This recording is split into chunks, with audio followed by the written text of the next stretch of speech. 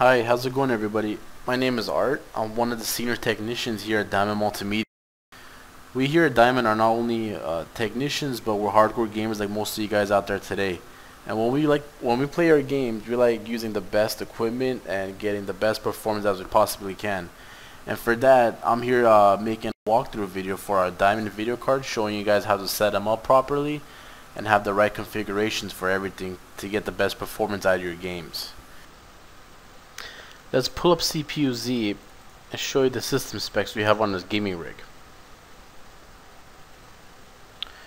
We're running an Intel Core i7-950 CPU running at 3 GHz. We're using an MSI X58 chipset motherboard. We have 8 gigs of Corsair DDR3 memory. And we're running a 6990 video card in the machine right now with 4 gigs of memory. For more detailed information about our gaming rig, please refer to the text below the video. I'm also going to be using Fraps to capture the frame rate of our games when we're running the benchmarks.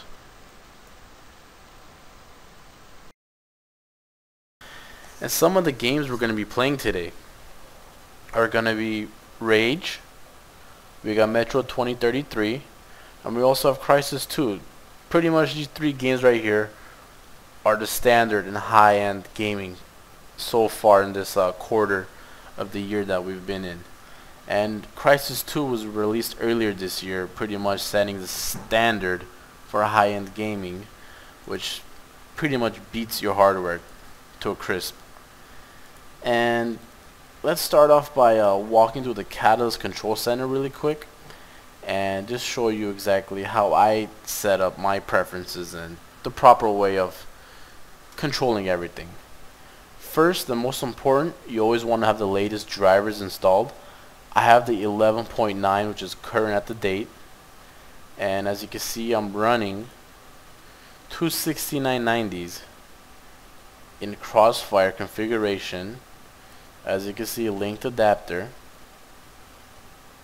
linked and linked total of four GPUs in this one machine that we're using and pretty much the 3D application settings menus where you want to be to configure all your filtering and all the performance filters on your card.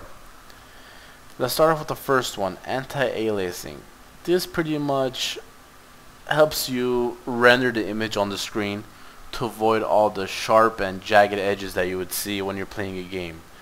I like setting mine to override application settings because most games don't have all these uh, performance and filter settings inside the options menu so it's always good to override the game settings with the Catalyst Control Center and I set mine at uh, 2x so it's not too high but it's pretty much at a good level where it gives you a clean image.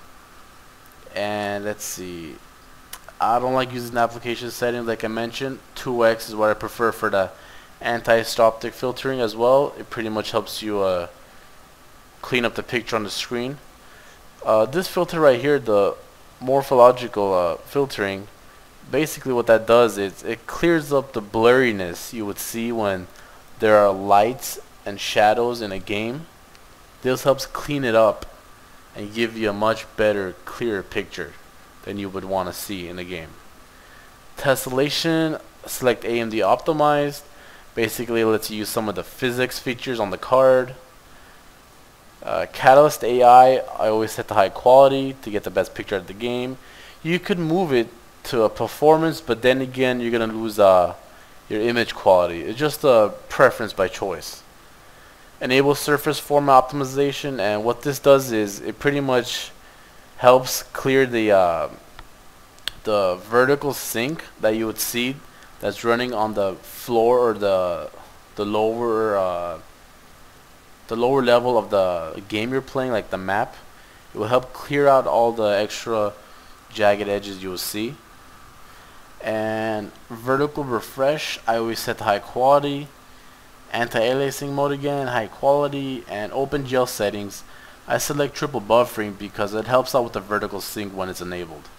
And pretty much those are the settings that I like running my games at and that I've noticed the best performance and the best quality when running these games. And you just want to hit apply for your uh, Catalyst Control Center to save it and then from there you're pretty much set.